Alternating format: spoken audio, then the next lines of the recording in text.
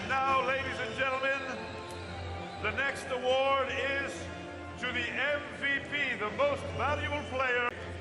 Ladies and gentlemen, the winner of the MVP award is Vasilis Spanoulis, number six, from Panathinaikos, Athens. Mr. Eduardo Portela, president of ULEB, gives the award to Vasilis Spanoulis.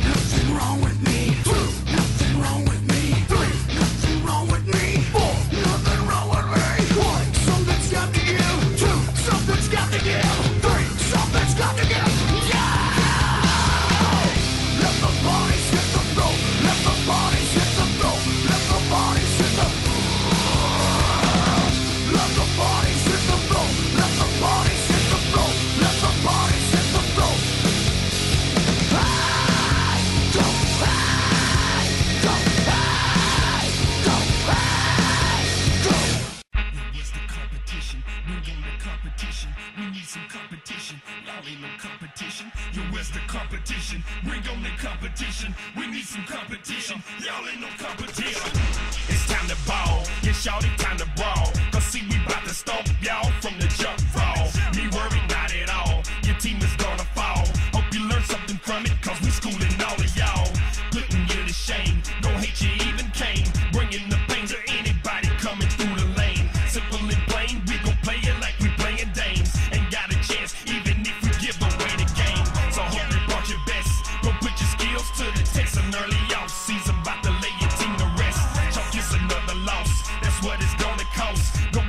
instinct.